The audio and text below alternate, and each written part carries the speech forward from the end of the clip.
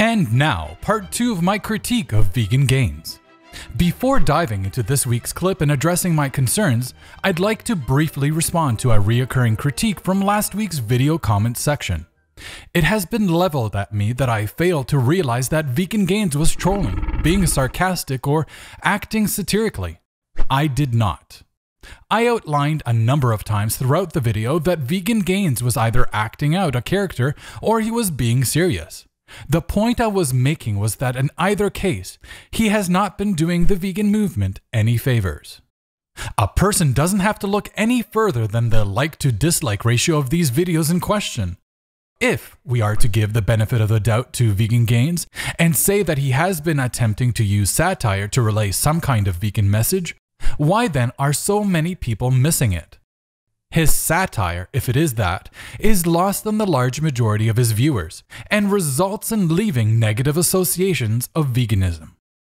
The last thing the movement needs is a sensationalist, self proclaimed sadist, poor satirist, and misogynist, as we are soon to find out, distracting those discovering veganism.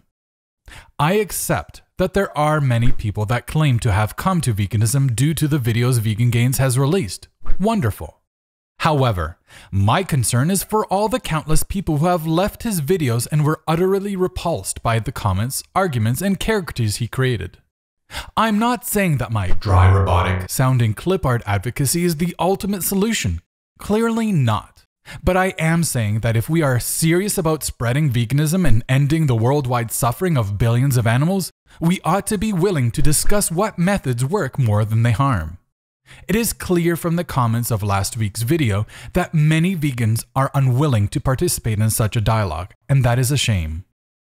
It is my opinion, as far as that matters, that Vegan Gains videos are causing more harm than good because when I step back from the initial emotional reaction to hate those causing animals to suffer and die, I realize that changing public opinion is the best chance at success, and poor satirical videos reveling in stomping babies to bloody pulp or describing in detail how one wants to slice the throat of a fellow YouTuber cannot be seriously argued as a good way of convincing non vegans of anything other than the questionable sanity or humor of vegans. I have quite a few other viewer comments to address, and I've already eaten up too much of this video's time on one. In next week's video, I am committed to responding to more than 20 YouTube comments from last week's video. Now, let's delve once more into the mind and method of none other than Vegan Gains. Women use children as objects to control and manipulate you. Now, this is probably going to get me a lot of hate, but I don't care because men need to know about this.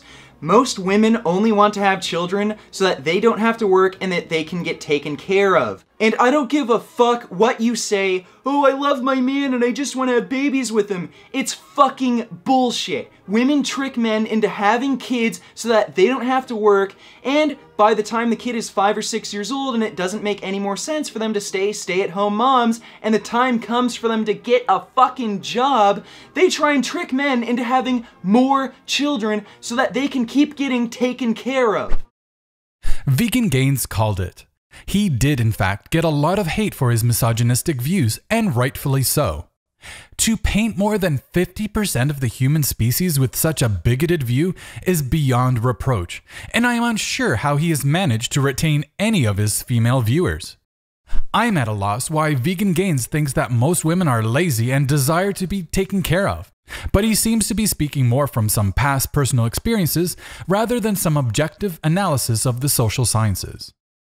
Women also use children to control and manipulate you to prevent you from leaving an unloving, abusive relationship or to steal money from you after you break up. And if they don't get what they want, they'll just break up with you and steal money from you until the kid is 18, and the threat of that happening is often enough to trap men into these horrible fucking relationships. I'm not going to let any women take advantage of me like that, and I'm going to take control of things by getting a fucking vasectomy. You have to get a stable 9 to 5 job because you have stupid ass kids to take care of, and a manipulative bitch wife or girlfriend will do whatever it takes to tie you down.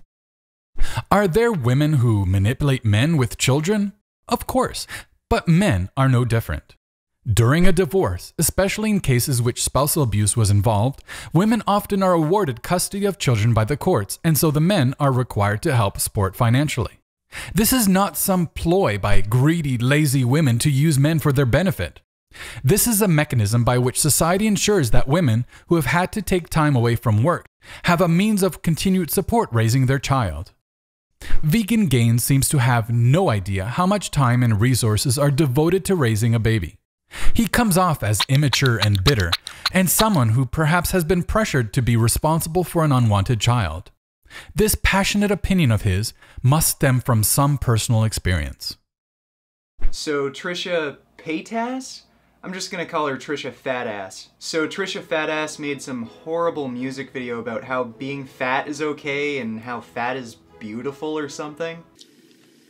Oh, look at that. Your boyfriend committed suicide. Gee, I wonder why he would have done that. and the only people who find this attractive have fucking mental problems, and you know it! So, you know what? I want you to keep eating the exact same way you're eating now, eat tons of meat, dairy, eggs, and processed food, get even fatter, live a sad, pathetic life of denial and misery, and then die young of a heart attack or stroke, because that's all a fat, pathetic fucking liar like you deserves. Vegan Gains lacks tact.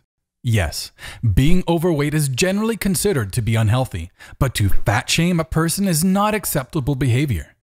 Dealing with body image issues is a complicated matter in a society that deems Photoshop bulimia to be an ideal look. There are also medical and psychological reasons why a person may be overweight, so if we are to encourage a healthy lifestyle to others, we ought to do it with reasoned arguments and providing resources rather than spewing personal insults. Additionally, a person dealing with depression may be moved to harming themselves after seeing such displays of disgust. Please understand, I am not encouraging that overweight people embrace and encourage others to be overweight. What I am calling for is a more reasoned argument based approach. And it had a really annoying fat girl in it. Still Kirsty, what do you have for lunch? I actually ate And that's for you. one chicken schnooky schnook. And then I left a comment saying that I want to punch her in the face, and a few people thought that was inappropriate and uh, told me I'm a hypocrite for being vegan and supporting violence against people. Again, more fat shaming remarks, but with the added bonus of a desire to commit a physical assault. Why? Because this lady is overweight? Because Vegan Gains finds her comments annoying? Because she speaks of eating animals? Violence is not the answer in a civilized society. Yes, there is nothing civilized about enslaving and killing billions of animals, but that is not a reason to abandon civility in our interactions with others. Violence or threats of violence is not a means to convince others that violence towards other animals is wrong. That is hypocritical and just plain confusing to anyone unfamiliar who discovers veganism through Vegan Gains content. Did any of you hear the horrible news? Furious Pete got cancer again! And it seems I was correct because Pete got cancer again. Oh, so sad!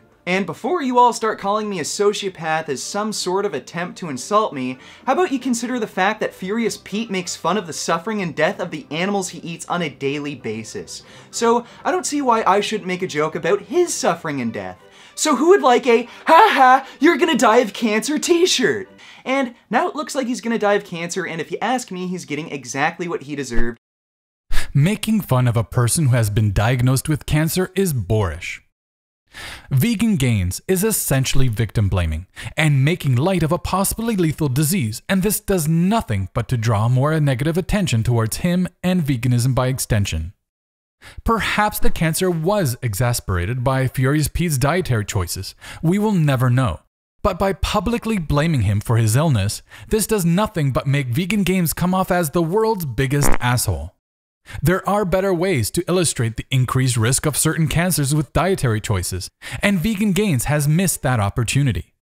No matter what t shirts Furious Pete has worn or comments made in opposition to veganism, using his cancer in such a crude way to push a message lacks basic human decency. I will freely admit that some of Vegan Gains content is pretty good and helpful, but I don't think that the good outweighs the bad.